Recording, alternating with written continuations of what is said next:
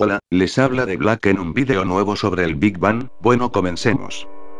CNN, el sorprendente descubrimiento, anunciado esta semana, de ondas en el tejido del espacio-tiempo ha sacudido al mundo de la ciencia, y al mundo de la religión.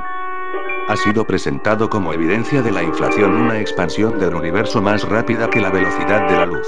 El nuevo descubrimiento de rastros de ondas gravitacionales afirma los conceptos científicos en el campo de la cosmología, la relatividad general y la física de partículas. El nuevo descubrimiento también tiene implicaciones significativas para la cosmovisión de los judeo-cristianos, y ofrece un fuerte respaldo para las creencias bíblicas. Esta es la razón. La teoría prevalente de los orígenes cósmicos antes de la teoría del Big Bang era la del estado sostenido, la cual afirmaba que el universo siempre había existido, sin un comienzo que necesitara una causa. Sin embargo, esta nueva evidencia fuertemente sugiere que hubo un comienzo para nuestro universo. Si el universo de hecho tuvo un comienzo, por la simple lógica de causa y efecto, tuvo que haber un agente, separado e independiente del efecto, que lo causara. Eso me suena mucho a Génesis 1.1. En el principio Dios creó los cielos y la tierra.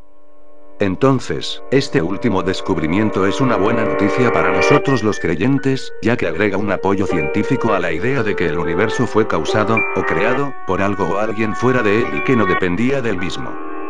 El astrónomo ateo que se convirtió en agnóstico, Fred Hoyle, quien acuñó el famoso término Big Bang, hizo esta famosa declaración una interpretación con sentido común de los hechos sugiere que un superintelecto jugueteó con la física. Como Hoyle lo vio, el Big Bang no fue una explosión caótica, sino más bien un evento altamente ordenado, uno que no pudo haber ocurrido por casualidad. También debemos recordar que Dios se revela a sí mismo tanto a través de la escritura, como de la creación. El reto está en ver cómo se acoplan estos dos aspectos. Una mejor comprensión de cada uno puede informar nuestra comprensión del otro. No solo se trata de abrir la Biblia y leer cualquier cosa que encontremos allí desde la perspectiva estadounidense del siglo XXI.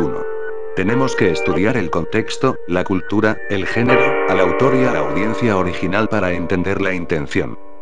El mensaje de la creación en Génesis nos dice que Dios creó un lugar especial para que los humanos vivieran, prosperaran y estuvieran en comunión con Él, que Dios quiere tener una relación con nosotros, y prepara todo para que estemos en comunión con Él, incluso después de que nos alejamos.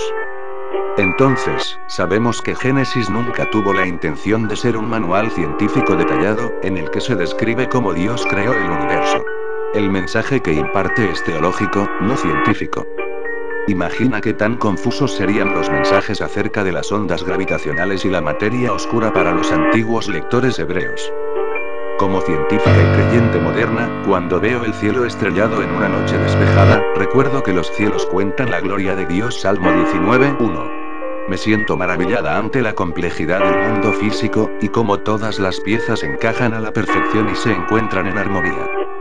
En el libro de Jeremías, en el Antiguo Testamento, el escritor nos cuenta que Dios estableció su pacto con el día y la noche y con las leyes del cielo y de la tierra.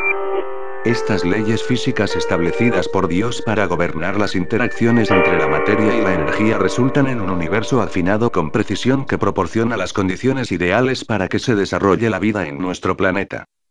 Cuando observamos la complejidad del cosmos, desde las partículas subatómicas hasta la materia y la energía oscura, rápidamente concluimos que debe haber una explicación más satisfactoria que una simple casualidad. Si se practica adecuadamente, la ciencia puede ser un acto de adoración al ver a Dios revelarse a sí mismo en la naturaleza. Si Dios verdaderamente es el creador, entonces Él se revelará a través de lo que ha creado, y la ciencia es una herramienta que podemos usar para descubrir esas maravillas. Leslie Wickman es directora del Centro para la Investigación de la Ciencia en Azusa Pacific University. También se desempeñó como ingeniera en Lockheed Martin Missile y Space, donde trabajó en el telescopio espacial Hubble de la NASA, y en los programas de la Estación Espacial Internacional.